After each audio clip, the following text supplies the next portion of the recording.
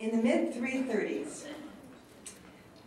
the first Christian emperor, Constantine I, and some of you have already know this, this is a repeat, but I'm going to, some of you missed morning. So, so the first Christian emperor, Constantine I, ordered the construction of a freestanding baptistry for his newly constructed Basilica Constantiniana, now more widely known as the Basilica of St. John Lateran in Rome. Some of you may have seen the Pope fly over this in his helicopter on his way to Castel Gandolfo this week.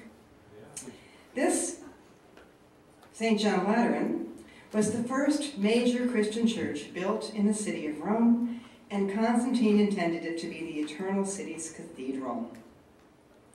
Built just outside of Rome's ancient sacred center with the Forum and the Palatine, Constantine used some available land, formerly the barracks of the Imperial Horse Guard, a group that had backed his rival emperor Maxentius.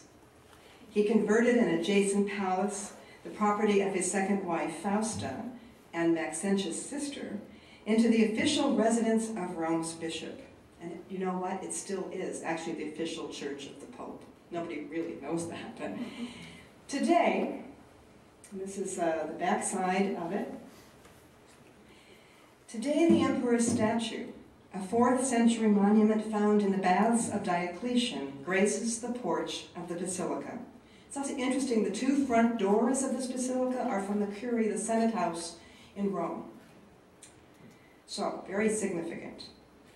According to tradition, first recorded in a 6th century document, the Conversio Constantini, included in the Acts of Sylvester, the Pope, the Emperor Constantine was baptized shortly after his conversion, around 314, by Pope Sylvester in the Lateran Baptistry. Well, this is a painting of it, uh, a medieval painting of the baptism of Constantine, which is in another church in Rome, Santi Quattro Coronati. Sources closer to this event report, probably more reliably, that while Constantine had hoped to be baptized in the Jordan River, he was actually received baptism on his deathbed in 337 while visiting his imperial villa at Nicomedia. There's another painting that's now in the Vatican of this um, supposed baptism of Constantine in the Lateran Baptistry by the Pope Sylvester. The costumes don't quite match the time period, but but I want you to notice the, the, the, the structure that we're seeing here as well, which is what the interior now looks like. Whatever the case about Constantine's baptism, we're pretty certain that the Lateran Basilica and its large octagonal baptistry were richly endowed through the emperor's patronage.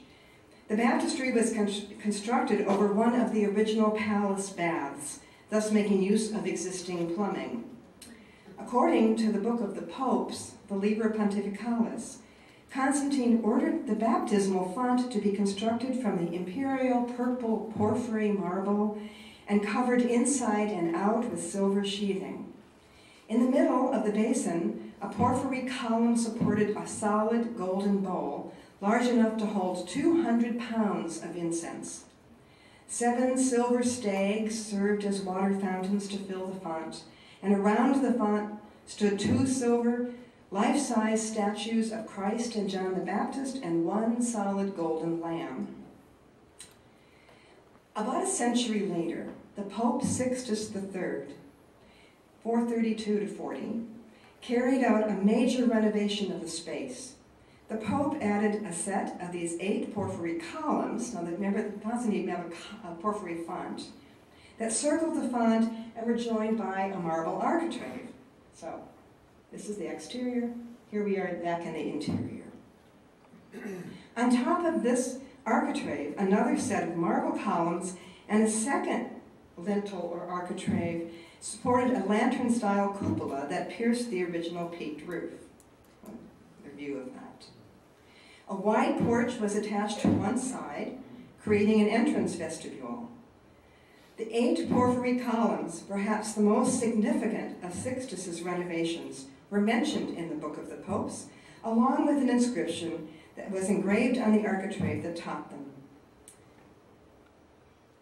Here we are again, and here's this verse. In the eight verses, The inscription summarizes the purpose and meaning of baptism, at least in this particular time and place. As you heard this morning, they're attributed to Leo the Great, probably composed while he was archdeacon prior to being elevated to the bishop's throne in 440. So once again, when I look at these verses, and we're going to talk about a different way to think of them. So a people to be consecrated to the heavens, here is born from a fertile seed, established by waters made fruitful by the Spirit. Plunge in, O sinner, be cleansed from the sacred flow. Whom it receives old, the wave returns new. No differences exist among those being reborn, whom one font, one spirit, and one faith make one. By a virginal birth, the Mother Church bears the children, whom she conceives by God's breathing, and she births by this stream. Wishing to be innocent, wash in the bath, whether you are burdened by ancestral sin or your own. This is the fountain of life, which has cleansed the whole world, taking its origin from Christ's wound. Hope for the heavenly kingdom once you have been reborn in this spring. That happy life does not admit those only once born. Let neither the number nor the kind of their sins frighten anyone born in this reborn in this river will be holy. Several themes appear in these lines which reflect Leo's baptismal theology. Oops, I got ahead of myself. I'm to leave it there. Christians represent a new sacred people or a nation, a gens, an identity that would have been particularly significant in the ancient Roman capital. Two, these people are born from the womb of the Virginal Mother Church in water that was fertilized by the Holy Spirit. This is a very important theme for Leo. He talks a lot about the church as mother, and the baptismal font is her womb, and the, and, the, and the fecundity of that womb being made by the Holy Spirit. Three, as children born from the same womb, they are joined to one another. The baptized have no difference in rank or status. They're like brothers and sisters. For the fountain, the water of life, originates from Christ's wound and cleanses and renews, washing away ancestral sin, original sin, as well as individual, personal transgressions. And five, the rebirth offers hope for eternal life in the heavenly kingdom.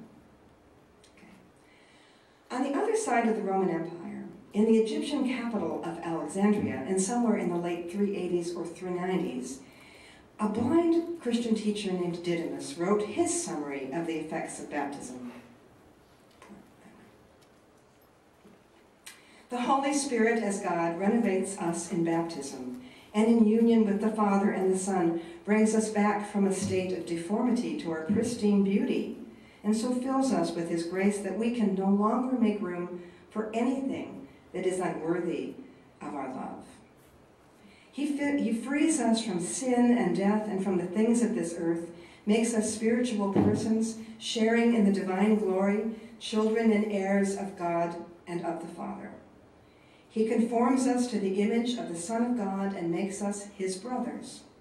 He gives us heaven in exchange for earth and bestows paradise with a bounteous hand and makes us more honorable than the angels and in the divine waters of baptism extinguishes the inextinguishable fire of hell. Didymus continues, explaining that by baptismal immersion, recipients strip off their old selves as well as their sins. They are regenerated, sealed, and signed by the Holy Spirit. They put on Christ as an incorruptible garment, and they find themselves as they were originally created, free of sin and in the perfect image of God. And Didymus anticipates some of the themes found in Leo's verses, such as the regenerative cleansing from original sin, but he adds and elaborates a few others. Now I think we have. Baptism restores the pristine beauty of humanity's creation in the Imago Dei, the image of God, both sinless and able to resist sin. Two, baptism bestows divine grace, sustaining its recipients in their pure love of God.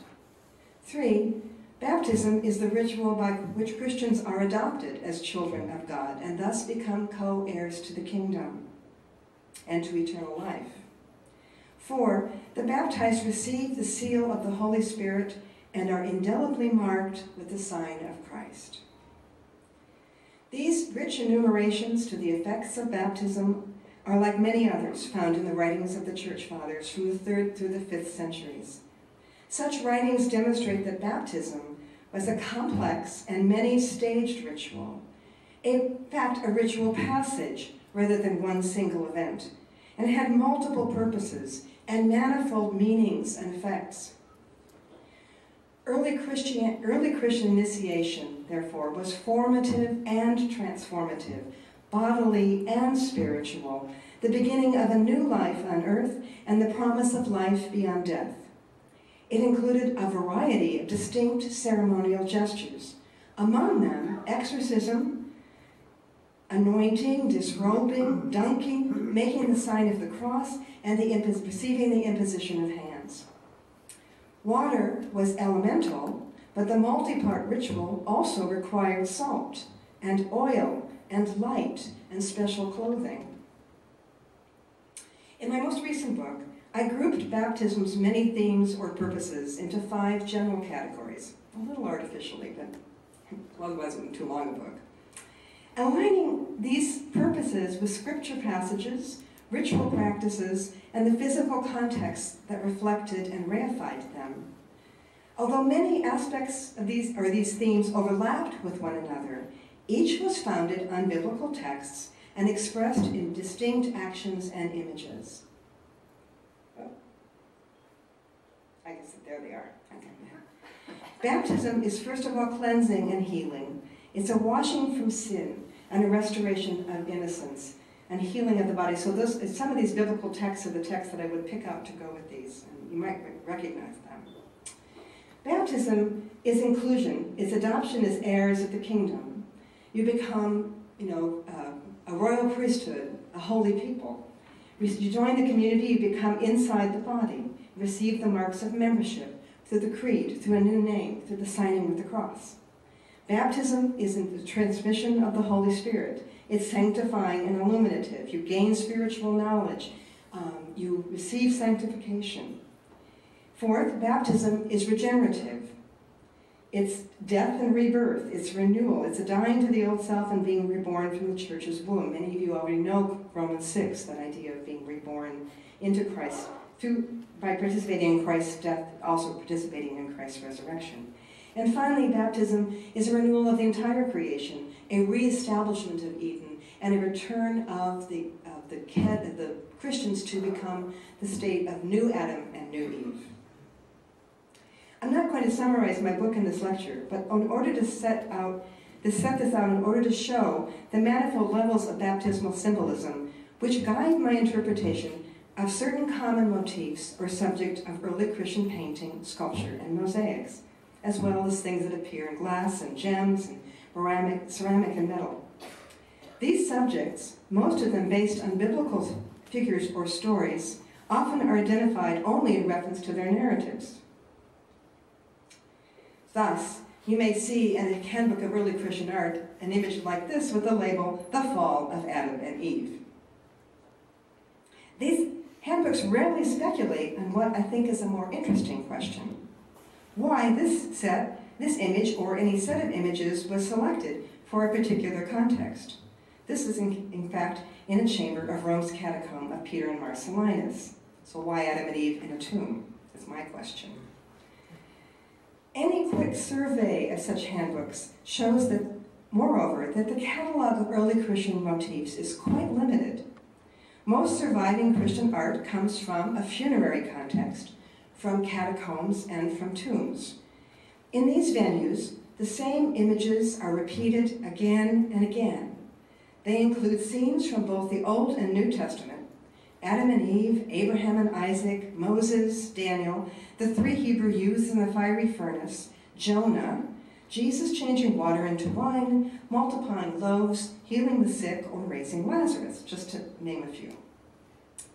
When I began my study of early Christian art, such constant repetition of certain biblical scenes, especially in funerary settings, catacombs, tombs, piqued my curiosity.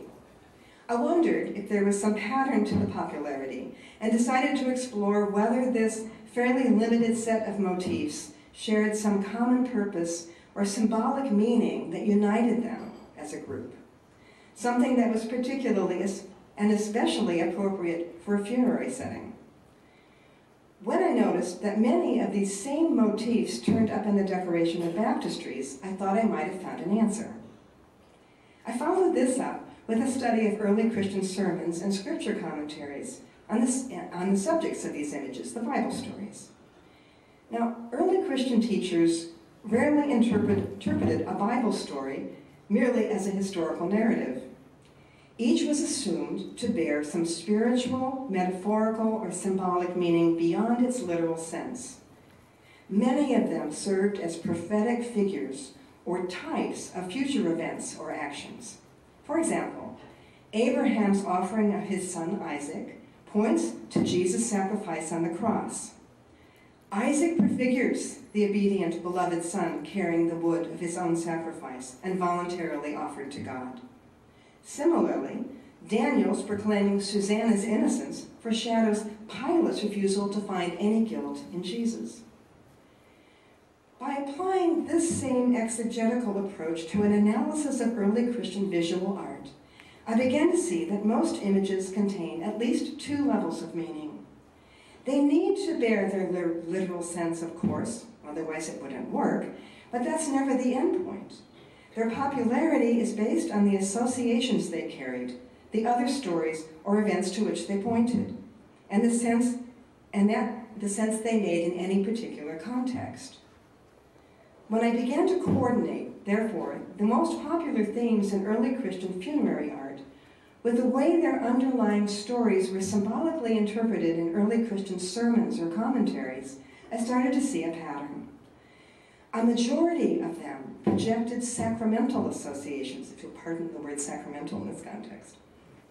Many were linked with the Christian sacred meal, and even more of them reflected on baptism. Why baptism? Because baptism is a sacrament, ordinance, by which an individual is incorporated into the body of the saved and offered the hope of life beyond death. It is a ritual of identity and promise, and thus images that allude to the baptism of the deceased would be a perfect adornment for a tomb or a coffin. Let me try to demonstrate how this works. In what's left of this lecture, I will show a selection, just a selection, of these widely popular early Christian images, and I hope fairly briefly explain how they could be related to an aspect or effect, one of those aspects or effects I outlined out earlier, of baptism. To strengthen my case, I will cite some of the early Christian texts that make the similar connections. The first two are not specific narrative images, but rather broad symbols that are widely popular in early Christian art and have biblical grounding. I, not, I will not limit their significance to baptismal allusions, but I do think they could have referred to the way baptism was a ritual of incorporation into the community of the saved. Both of them, the Good Shepherd with his flock, and the fisher reeling in his catch, show up in funerary contexts and in baptismal decor. So, the shepherd.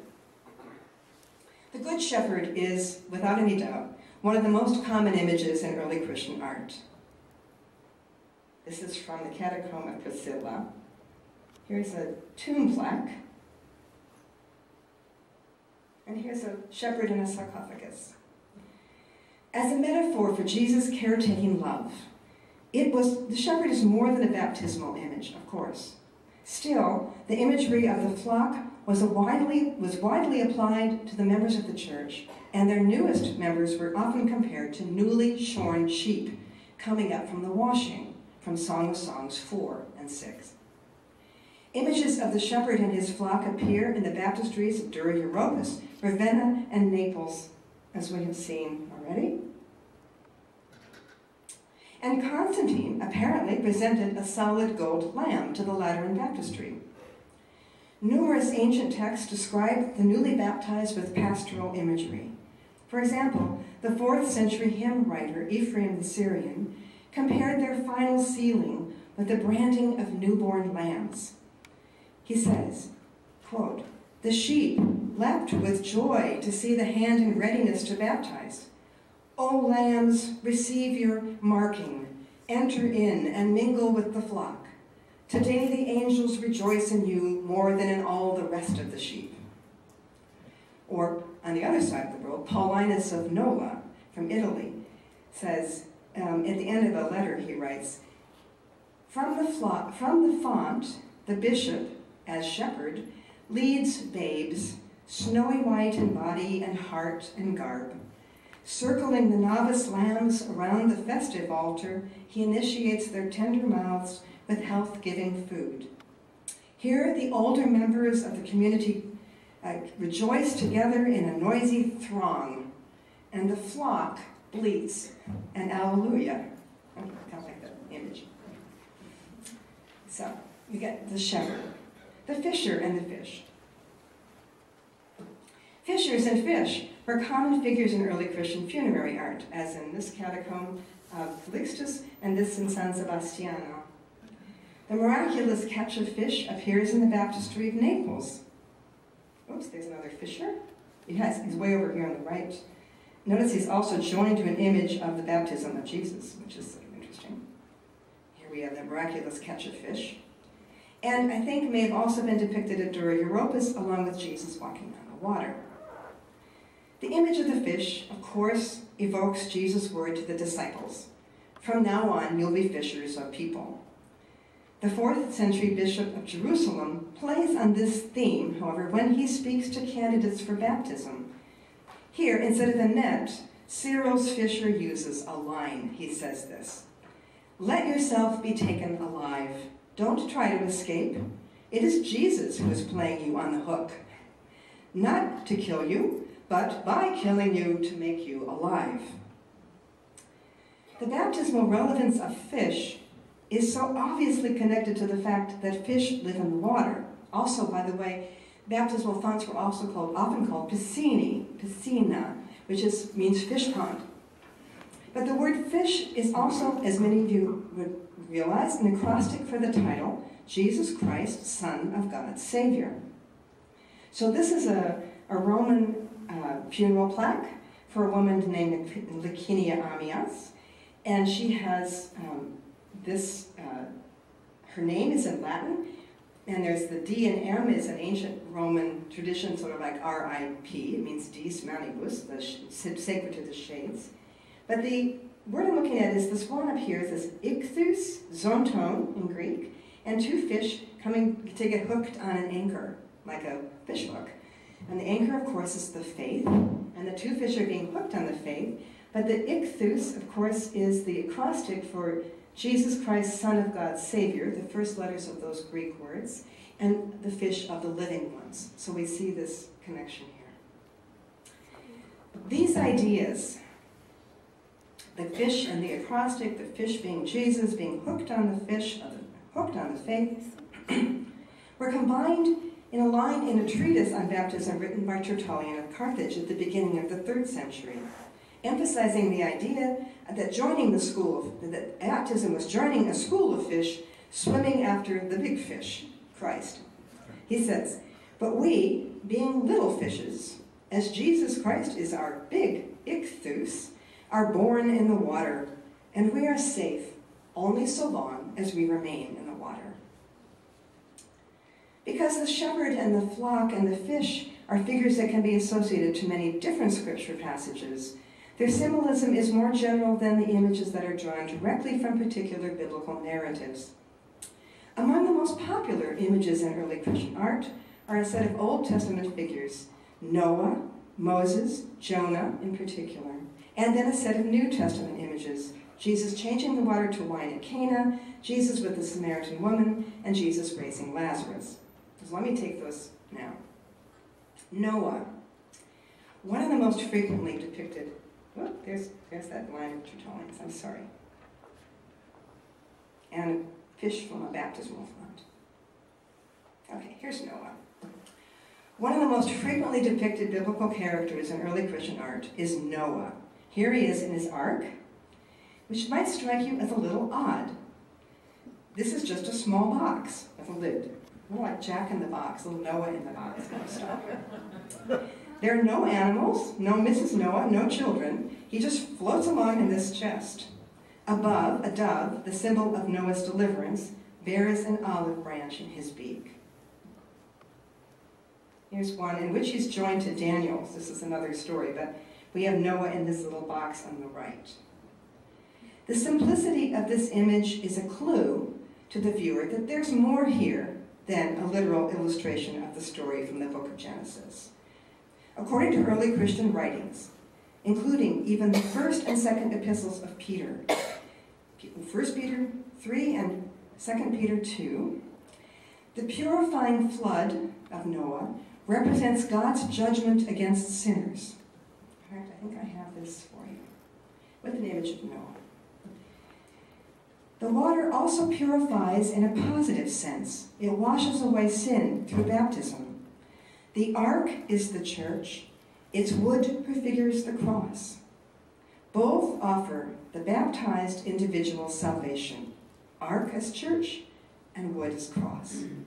The dove, of course, dove Noah's dove, also connects to the Holy Spirit, descending on Jesus at his baptism, and of course descending upon all the baptized in the gift of the Holy Spirit.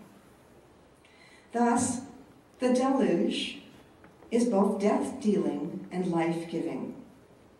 In the fourth century, Ambrose of Milan said this to his candidates for baptism quote, In the flood, all the corruption of the flesh perished and only the race and likeness of the righteous remained. Is this flood not baptism, by which all the sins are wiped out, and only the Spirit and the grace of the righteous are revived? Okay. Next, Moses and the Israelites crossing the Red Sea.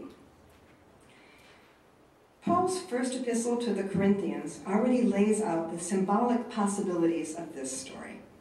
1 Corinthians 10, he says, Our ancestors, yeah, it's sort of in white up there, but our ancestor, ancestors were all under the cloud and all passed through the sea, and all were baptized into Moses in the cloud and the sea. So you can see how we use these stories to refer now to baptism. The Exodus scene appeared frequently in early Christian art, as here in the Via Latina catacomb and on a number of 4th century sarcophagi. Here's one. Here's another one. Very soon, this story became a prototypical symbol for baptismal purification. The faithful Israelites were liberated through the water which covered and drowned the evil enemies. Interpreting Pharaoh and his army as vices or sins destroyed by baptismal water, the new people of God emerged safely on the other side, washed of their sins, and headed toward the promised land. Rather than a move from death to life, this image projects that transformation from slavery to freedom. Whereas the unbaptized formerly were enslaved to sin, their passage through the font transformed them into fully enfranchised citizens of heaven. So here's this text from Cyril of Jerusalem. I don't know if I have the whole thing here, but I'm going to read from my page. No, actually, I think I have a different one, so listen and, and then go back to looking at this. Here's what he says. This moment of your baptism was prefigured in antiquity when that tyrannous and cruel despot Pharaoh was opposing the noble, free-spirited Hebrew nation. God sent Moses to deliver them from their hard slavery. Pray, you passed from the old to the new, from the figure, the story, to the reality, baptism. Pharaoh pursued that people of old right into the sea. This outrageous spirit, this impudent author of all evil, followed each of you now, Pharaoh is now Satan or the devil, followed each one of you up to the very verge of the saving stream.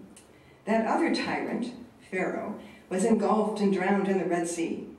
This one, Satan, is destroyed in the saving font. Next one. Jonah, swallowed and regurgitated. Depictions of Jonah being swallowed by the big fish being spat out and reclining on land were among the most popular in early Christian art. Often presented in distinct, sequential episodes, especially in catacomb painting, Jonah vastly outnumbers almost every other biblical character in pre-Constantinian funerary iconography. If we count all of the images of Jonah as separate, not as one in part, with part one, two, and three, he outdoes the Good Shepherd. So here's a kind of nice one. This is in the catacomb of Priscilla. Also, this is uh, the shepherd in the center of the dome of the ceiling. And we have praying figures around, but we also have the scenes from Jonah. Here he's being thrown overboard. Over here is actually would be a scene of Jonah um, with, the, with the tempest coming up and praying. He's being fed into the mouth. This is little Jonah's head right here, his arms. And here's the mouth of the sea monster opening up to receive him as the sailors are dumping him overboard. And here he is actually, this is a little out of order because here he is being spit up again out of the mouth of the monster. Notice he's nude. This is really important about Jonah. Jonah's nude. And here he is in the last scene, always of the sequence of Jonah reclining under the gourd vine. Um, we don't get to see Nineveh, you know, um, repenting. We don't get to see God calling Jonah to Nineveh. All we see is the tempest, Jonah being cast into the mouth, Jonah being coming up again, and Jonah reclining. And Jonah's always new. That's kind of important, I think. A precedent for reading Jonah as a type of baptismal uh, regeneration is, of course, offered by Christ himself. Because, Jonah refer, because Jesus refers to the sign of Jonah as a figure of the three days in which the Son of Man was in the tomb, or would be in the tomb. Early Christians interpreted this as not only a sign, though, of Christ's death and resurrection, but as a symbol of their own death and resurrection, by virtue of baptismal renewal and its promise of eventual bodily resurrection to heaven. Following Romans 6, they understood that through their baptism they were buried by Christ, but also united with Christ in a resurrection like his.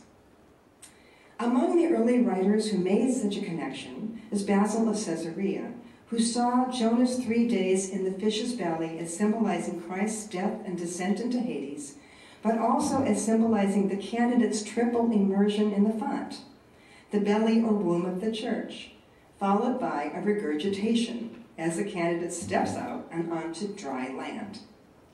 The iconography shows Jonah naked as he goes into the creature's mouth and naked as he comes out. There's another one.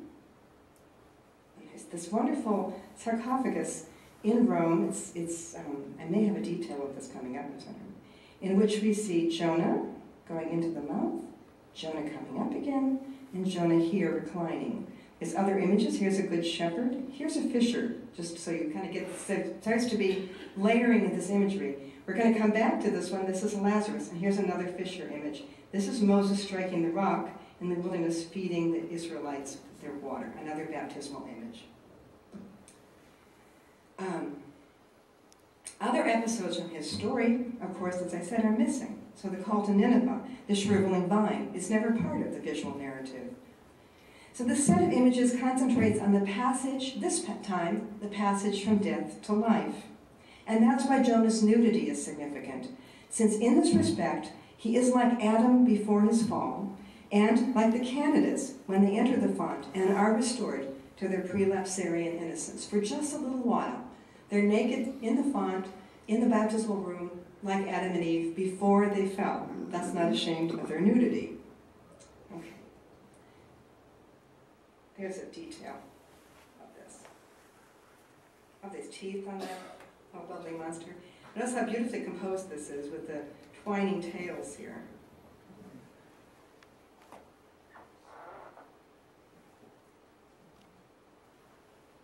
This is a different sarcophagus showing Jonah. And it's one of my favorites because this little this little sailor is I just can't look, I just can't watch. it's covering his eyes. So, and then we have it quickly, all, here he goes in, here he comes out, and here he's lying down again. And there's the gourd vine. Okay, next image. Jesus changing water to wine. Depictions of the Cana miracle are especially common on sarcophagus reliefs. And a sarcophagus is a big stone coffin. That's what we, sarcophagus means flesh eater. It's what we call those big stone coffins that you might see in museums. They, I'm, I'm thinking that they actually put the bodies in these boxes and covered them with lime, and so in fact the flesh did disintegrate in the box, um, making room for another person to go in if needed. They're pretty expensive. I expect families shared them. Okay. So depictions of Cana miracle are, are most common, in fact, on sarcophagus reliefs. We will forgot why that is yet, but this composition generally shows Jesus pointing a staff at a series of large stone jars. Details referring to the wedding itself are rare. You rarely ever see the wedding couple, and almost only, only one instance that I know of in early Christian art, you see Jesus' mother. So normally you have Jesus with the stone jars and some of his followers. The iconography, I believe, emphasizes the transformation of water. Most early Christian writers interpreted this story, however, of Jesus arriving at a marriage feast and turning water into wine as having Eucharistic and not baptismal symbolism. And it is often juxtaposed with the scene of Jesus multiplying loaves. But I think the image could have had a baptismal significance as well, which is implied by its appearance in the late 4th century mosaic vault in Naples. And this is the Naples Baptistry. That the story involves the transformation of water may be part of the explanation for its depiction in a baptistry.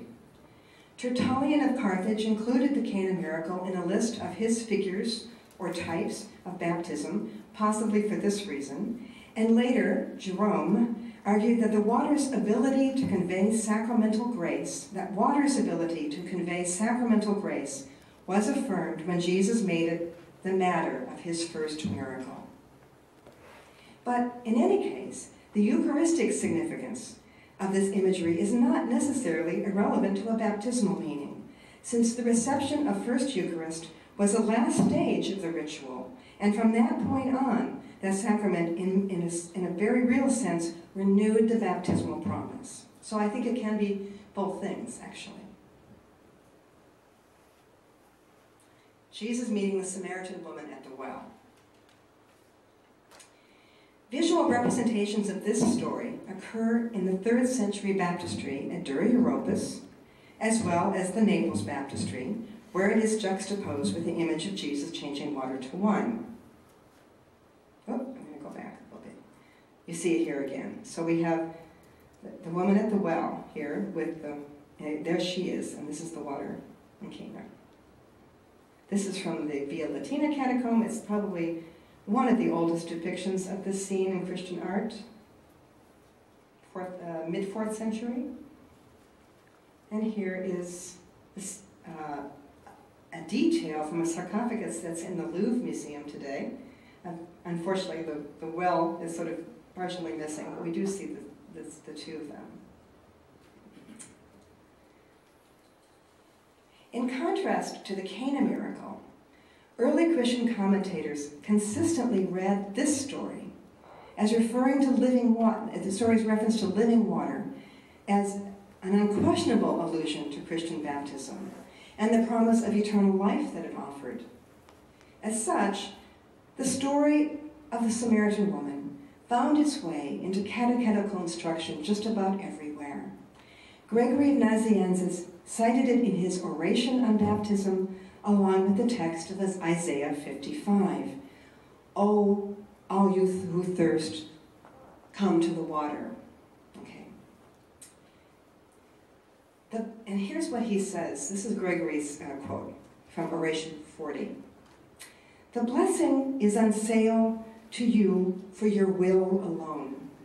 God accepts the yearning itself as a high price. Think of the text of Isaiah. You, without money, without price, uh, why should you pay the price? You know, okay. So God accepts the yearning itself as your high price. He thirsts, God thirsts to be thirsted for. God gives a drink to those wishing to drink. He is benefited by being asked for benefit. The great gift is at hand. He gives with more pleasure than others take in receiving. Blessed is the one of whom Christ asks a drink, like that Samaritan woman, and to whom he gives a fountain of life, a fountain of water springing up to eternal life. The baptismal significance of this narrative is inescapable, giving the narrative's allusion to Jesus' water as the water of eternal life. The images are easily discerned.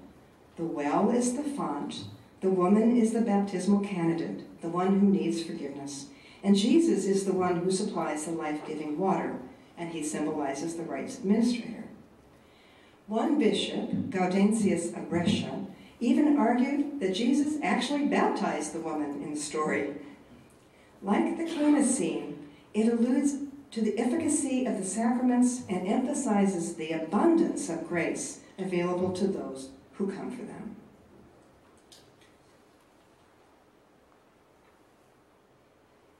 Now we're going to look at this little image down here. But notice, just so you can, here we have Moses striking the rock again. Here is Noah and his is a scene of the woman uh, with the issue of blood being healed. But we have these scenes that are beginning to make a pattern. I hope you begin to see my pattern. Persuading, I'm hoping. Okay.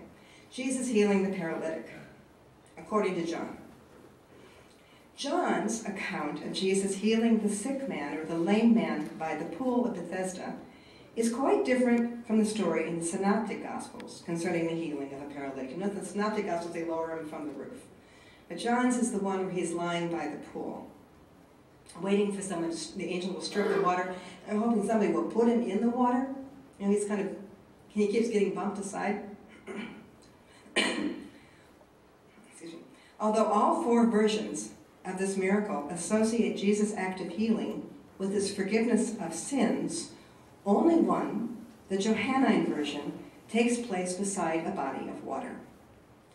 Jesus and this sick or paralyzed man often appear in early Christian art, in the catacombs and on sarcophagi. Here's another one. Isn't he sweet? Little he is, but he's carrying his bed here. But it also appears in the Dura Europos baptistry.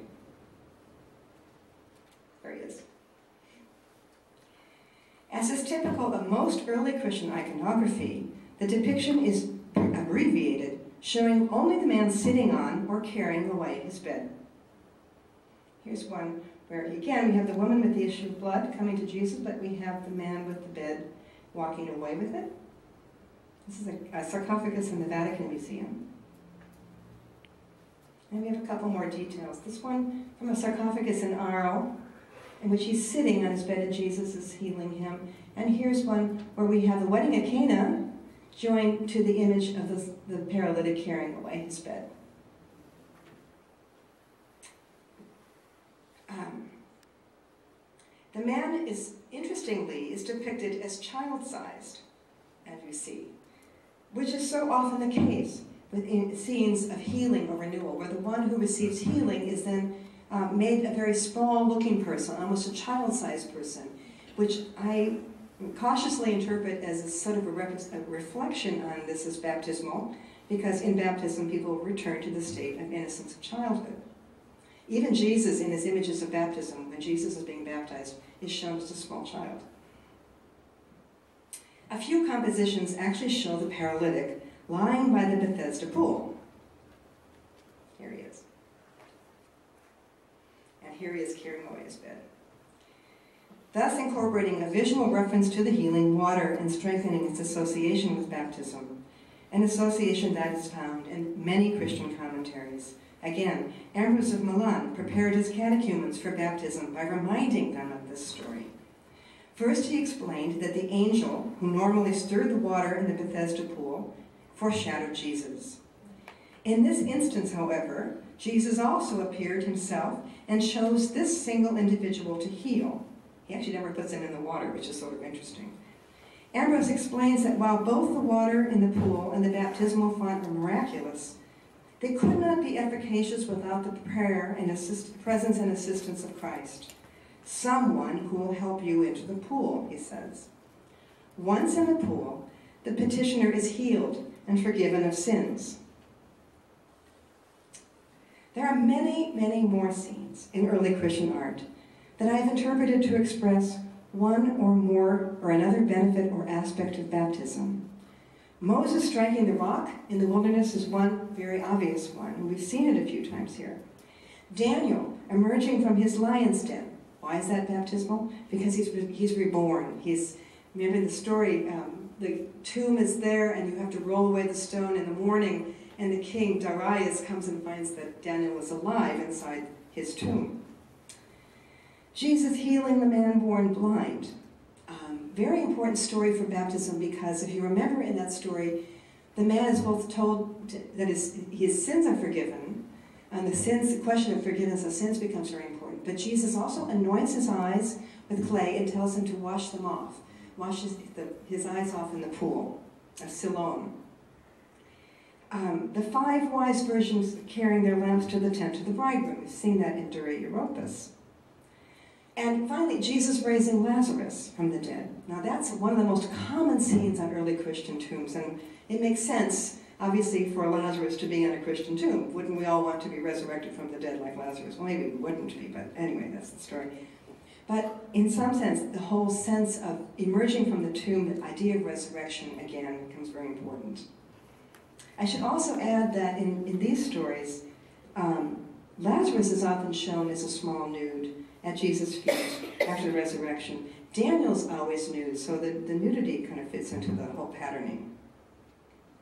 Now, not all Christian art is related to or reflects on baptism. I'm not trying to say everything does, although sometimes they get really close. But what I hope that I'm communicating in this short time is not even that, but it's the potential of visual art to contain and convey manifold meanings simultaneously and through many different images and sometimes juxtaposed and in composition with one another. Let me look at this one. So here, this is a sarcophagus in Rome, dates to about 280, and we see this wonderful bathtub-shaped coffin. On this side are the sailors that are going to throw Jonah overboard.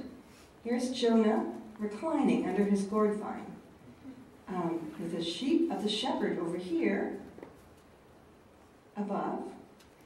And this is a couple of figures, a praying figure and a reading figure. They're a little enigmatic, but they may refer to um, the, the, the couple buried here. And over here is an image actually of John the Baptist baptizing this little nude figure that's Jesus, little childlike figure. So nudity is important, I think, in these images. Jonah is a symbol of, of, of reclining in paradise after baptism, but he has come out, he's been regurgitated um, and, and put out in dry land. In, around the side, and you have to trust me on this, are fishers catching fish in nets. And this again is the Jonah sarcophagus, and so we see the image of Lazarus, we see the fisher, we see Jonah, we see actually Noah here, and we see the fisher again, and the good shepherd, and Moses striking the rock. This is probably a little bit of an enigmatic scene, but this is probably the women worshiping at Jesus' feet after the resurrection. So, what I'm trying to say is that this art is never simply illustrative. It's already become symbolic, and it's doing textual exegesis, and it fits in with the way people are brought into the faith and think of what's going to, be significant to them on the, what, what is the most significant piece of art they can have? The art that decorates their tombs. In my earlier lecture, I told you about how our Roman Catholic practice of baptizing adult, about our Roman Catholic practice of baptizing adult converts at the Easter Vigil, something we call the uh, rite of Christian initiation in adulthood. Yesterday, last this, yesterday Sunday, those who are preparing for either baptism or confirmation at our church underwent one of the three scrutinies of candidates as part of the process. These scrutinies are renewed or updated forms of a very ancient ritual, all the way back to the fourth century, maybe earlier, in which the church asked candidates to search their consciences and affirmed their sincere desire to join the community. The new form, developed shortly after Vatican II, takes place on the third, fourth, and fifth Sundays of Lent within the church, in where we ask the, the candidates to kneel, and they receive both exorcism and blessings. But these third, fourth, and fifth Sunday texts, when you have candidates for baptism, must be the texts of the woman at the well, the healing of the man born blind, and the raising of Lazarus. They, so they draw upon the same sacred stories that were at the very core of early Christian baptismal preparation. It's very deliberate. The church actually went back and decided this is the, how they were going to do it, and they were going to do it just like they thought the early church did it. The same stories that are so frequently represented in early Christian art, including Jesus changing water to wine at Cana, Jesus conversing with the Samaritan woman at the well, Jesus healing the man born blind, Jesus healing the paralytic at the pool, and Jesus raising Lazarus. I think we could add Nicodemus maybe to that list. I believe this is key to our understanding of early Christian art. It is one of the ways that early Christians visualized the moment of their entry into the community and reminded them of their baptismal identity as they faced death and anticipated their future resurrection.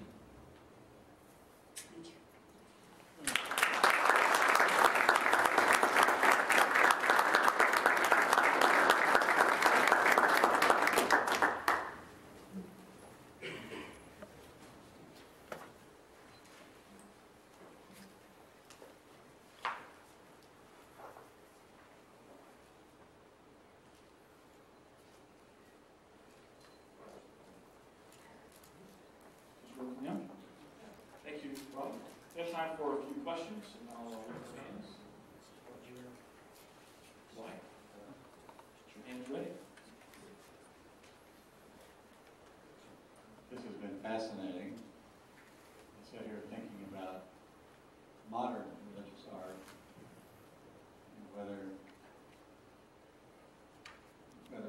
to dissect all that as well. But my question is this. All these texts, which I want to say this, this may not be true, but I'm going to say it anyway, which we no longer look at as primarily baptismal texts, but which were interpreted or made to fit the baptismal.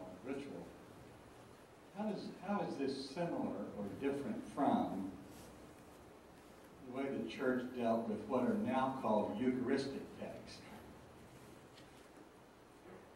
Um, like uh, the multiplying of loaves, you mean? Or?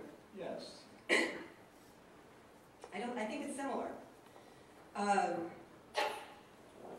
what I what I really see here is that the art is integrated with the practices of people in their lives of faith.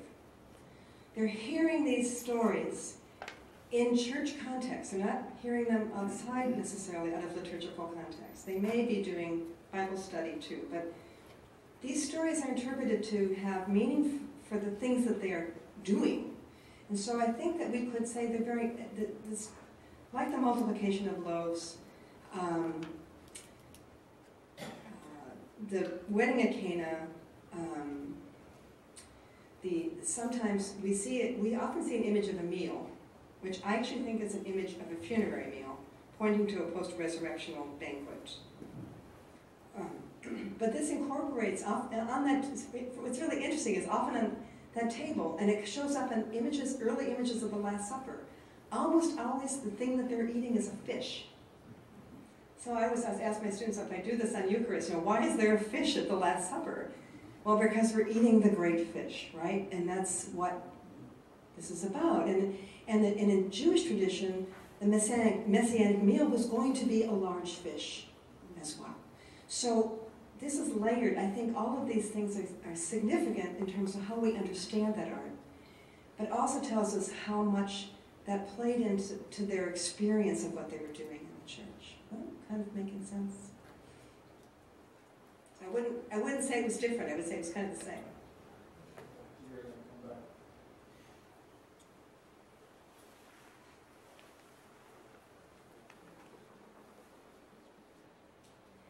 thinking of Perpetua's, uh, the account of her martyrdom. And at the very end of that account, the, uh, the crowd cries out, well washed, well washed. Martyrdom was considered second baptism. So I'm wondering, in the artistic depictions of early martyrs, is there baptismal imagery within that artistic representation or allusion to baptism when that's being depicted artistically? You know what's so hard about that question is we have very few early Christian images of martyrs. This is really later. Um, so I do think that the baptism of blood, uh, which is what martyrdom is, and so if one is martyred, you don't have to, you know, you, you're in. Whether you survive or you die. Um, uh, I forget where I fit this in, but it is actually, um, you're right, and, and I think one could, one, one thing that's a wonderful image of the Good Shepherd, I I don't know if this is connected, there's a wonderful image of the shepherd in one of the catacombs, and the sheep are being drenched. And I wonder if that isn't a sort of allusion to martyrdom. Sacrificial lambs being drenched um, could be, rather than a literal interpret, real, literal presentation of martyrdom, is a, a symbolic presentation of martyrdom there. Yeah.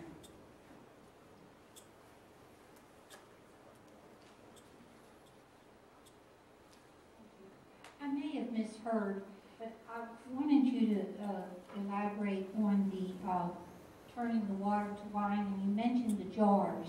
Mm-hmm. And uh, I thought you said they were really large, and then you mentioned These were little, yeah. they're a little tiny. They made the association with the burial and the wine and that. Could you Ah, that made me get a little confused. that? Yeah, I think I may be layered. Yeah. Yeah, sometimes the jars are not, sometimes they're very big and sometimes they're not so big. Uh, Probably should have said, sometimes you actually see the little ones like you have here. And it's very often juxtaposed with, in fact, the multiplication of loaves. So you have water, wine, and bread. Um, And fishes. So we get fish, wine, water. Um, So that may just be something I need to just nuance a little bit. The sarcophagus, that's a different subject.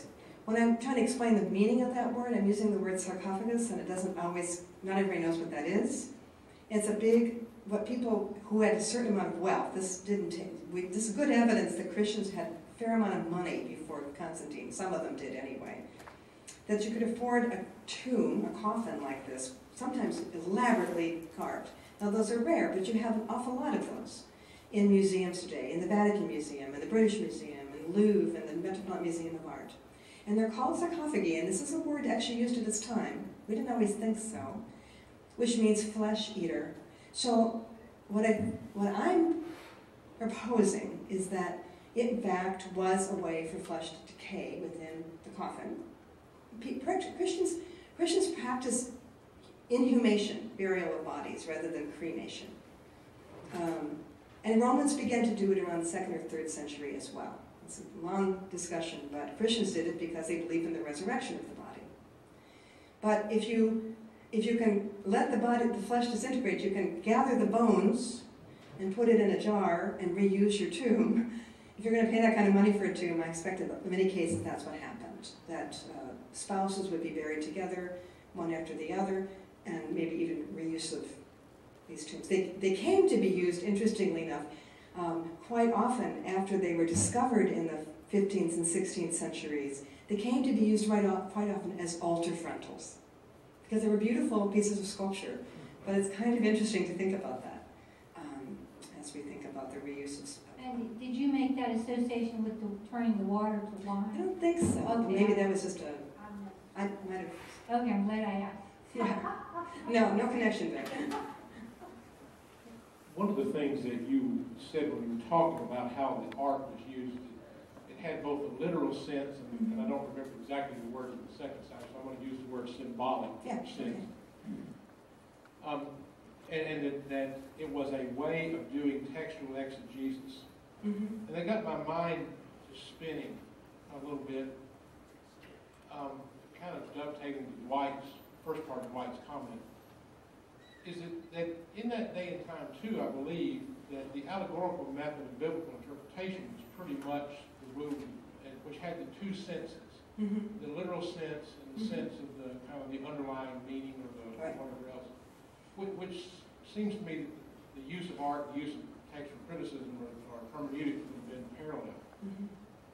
Um, and, and so I guess part of my question is, is that a fair assessment? But the other side of that is then kind of bringing it forward into, into a period where we don't really acknowledge the allegorical interpretation. How do we deal with the question of art and all of this as a way of representing or uh, helping us to tell the story or interpret the story? Let me say, first of all, that you exactly what I'm trying to say. Um, Christians had different levels of interpretation. One of them was the literal interpretation, this historical interpretation. One was a moral interpretation. You know, what does it mean? You know, what does it mean for my life? You know, how should I be obedient to God's commands? Abraham and Isaac as a symbol of faith and obedience. And then the next level is sort of the typological or figurative eh, level, in which Isaac is not just a story that happened or even a moral exhortation, but Isaac becomes Christ. And this is really common in the early church. And then the next level is sort of allegory, and one beyond that is sort of the allegorical interpretation, where, you know, the tree means this and the ram's horn means that, and pretty soon you're kind of often, almost really often to symbolism. And it's true, we don't, most of us don't work with that kind of interpretation anymore. And one of the reasons we don't is not just because it's sort of gone out of style, but because we're so anxious about interpreting Old Testament stories with Christological significance. We recoil from that. I mean, that's why that sounds like Christian supersessionism to people.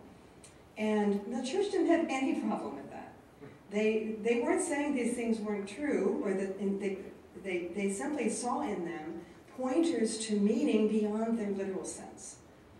And so I think for us, for, for thinking about this and applying to art today, if we if we ask artists only to illustrate stories and not teach us something about the levels of meaning in those stories, we're really hampering what we know about visual art and what it can do. So, what's sort of interesting is that we don't actually have an image of Jesus crucified until really the beginning of the fifth century. Because nobody really needed to have that. They had the story of Isaac to tell, to tell us about that. So, I think it's a way of letting us do the kind of work that, that textual critics can do with stories and, and find in them many, many levels and possibilities of meaning. And letting the artist do that too. Because I think we have grown up with a kind of a literalist mindset about what Christian art should be. And, and it can never be that anyway. I mean, an artist has to already make decisions about what color is Mary's dress, where were they sitting, what part of the story am I going to show? So already the artist is already doing interpretation. Just this is just a way of even um, acknowledging how much more is there.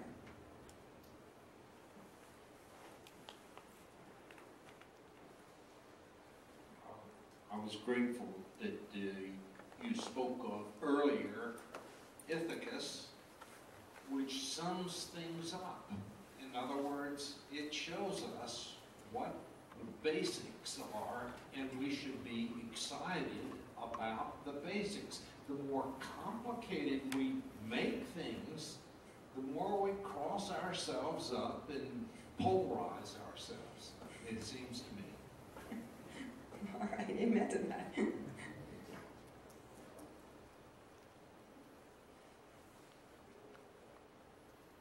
Um, when you showed the several images of people who, I guess, the paralyzed man carrying, who was a little child, and then you showed the baptismal imagery of Jesus being a little child, it was very striking because the meaning that I attach to all, to the person that needs to be healed, the weaker, or the, the lesser, or the, you know, all that, and then there's Jesus as a child. I didn't know if, maybe you can comment more on the baptism one, where Jesus is a child, and I, was I associating all the wrong things? Was I, should it more have been commenting on the passivity of being healed, passivity of being baptized?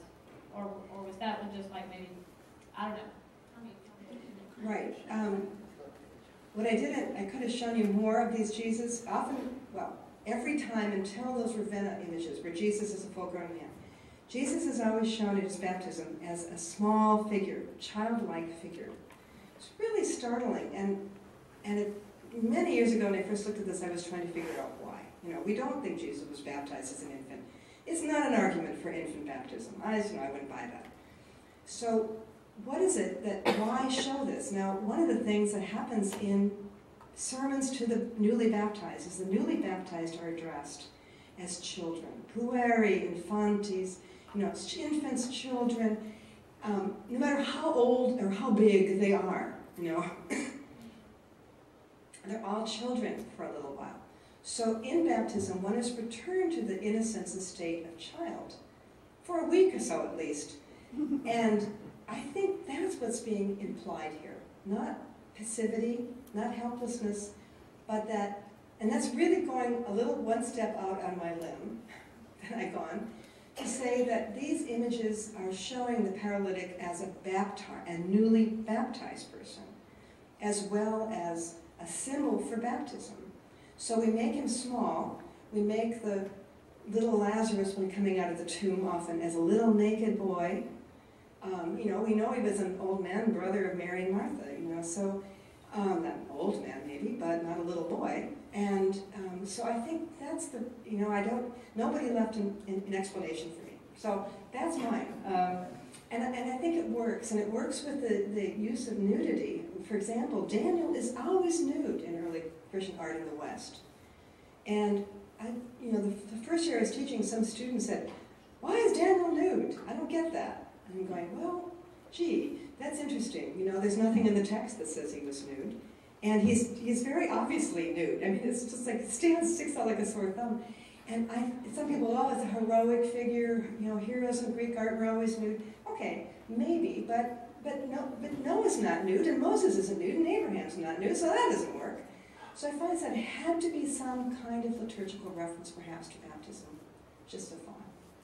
Creation of Adam and Eve.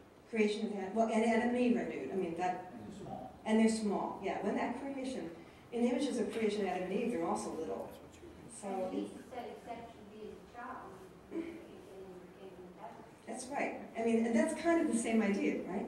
We are returned to that, uh, the innocence of childhood. Um, Any other questions?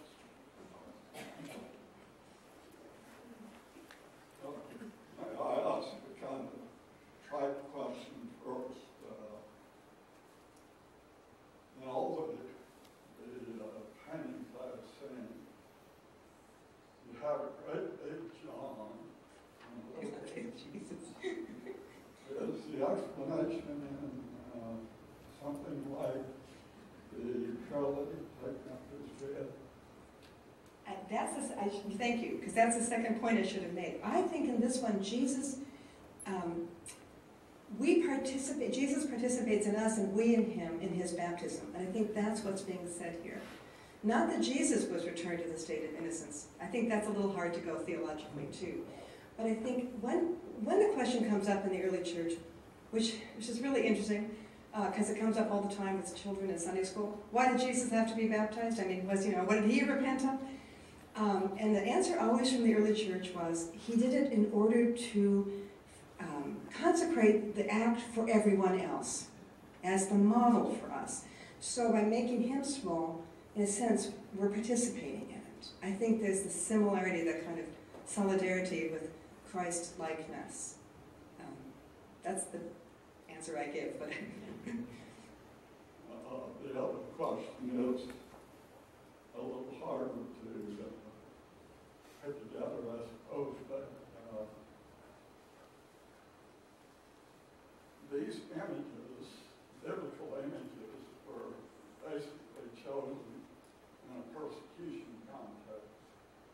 Uh, The first, maybe, maybe the second and third centuries especially, where um, uh, it's pretty easy for me to see why they would have chosen most of those that they selected.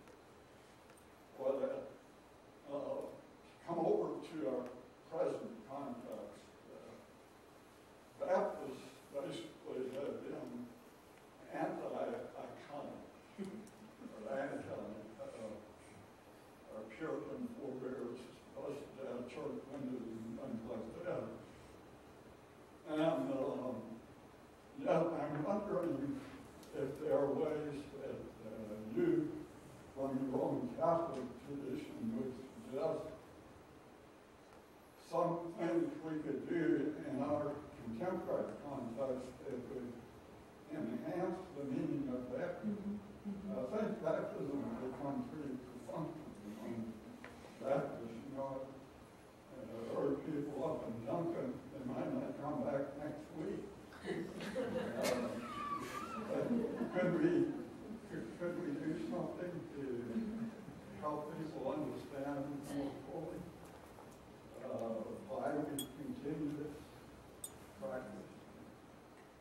You know, I, one of the things that happens a lot when I'm talking about baptism to people who aren't Baptists or disciples who practice adult immersion, or you know, there's a certain jealousy sometimes about wanting, wishing I could go through it now that I know what it means, and I was baptized and sprinkled as a baby, and um, so I think that perfunctoriness is not certainly not limited to Baptists, um, and I think that all of us probably want to think about how to make this ritual richer, uh, more profound and meaningful for those who undergo it. Um, and when you hear about how early Christians baptized, there's a certain kind of shock, you know, to the sensuality of this, the bodiliness, um, the way that it was accompanied with catechetical uh, teaching and Bible stories being interpreted, um, people being um, encouraged to be, uh, so for example, I said like the anointing was often compared to the anointing of a wrestler getting ready to go into the ring because in that font, you know, you're going to fight with Satan and Satan's going to want to grab you, but you're slippery and so you're harder to pin. Um, or, uh, you know, in the mark, the sign of Christ, you know, you're being marked like the sheep, you know, branded, or like the soldier being tattooed, so that you belong to the flock and you belong to the to the troops and you belong to the, the army of Christ. And um, these, these, these um, sermons are so full of wonderful imagery that, um, and that could just go on and on and on, but you know that the, um, the, the gift of the Holy Spirit and the scented oil, you know, the scent of the Holy Spirit, it stays in your nostrils for a whole week. You know, um, so yeah, I think that we all, all of us, and I, I, I will credit the Catholic Church a little bit for, for suddenly realizing it was, it was having people coming to it who weren't baptized as adults, and they're thinking, well, we can't just sprinkle them, you know, we need to, well, let's do more with this. And so there is a real effort to recover these scrutinies and these stories and put people through a long catechetical process. And then at the Easter Vigil, to baptize them, which is pretty dramatic. Um, you know, all the lights are out and these candles, and there's a three-hour service, and people are beginning to swoon from the heat, and you know, incense is burning, and then we're going to baptize and dunk these adults, and it's not just for the people who are being baptized; it's for everybody in the congregation. They're all moved by this. So, I, I'm just agreeing with you. I'm just thinking of ways we might um, recover some of this. I think we agree with you, and thank you for joining me again.